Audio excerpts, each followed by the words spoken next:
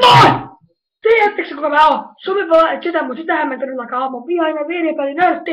Ja tässä on meidän aihe tällä kertaa. Autte pelistä on tämä haukut. SingStar Suomi Rock.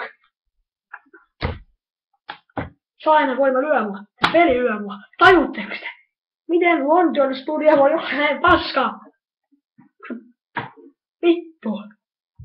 Se peli on niin todella realistinen. Täyttekö te? Kuinka vielä mä oon? Sun rikkoa peli. Tämä peli sisältää laulua.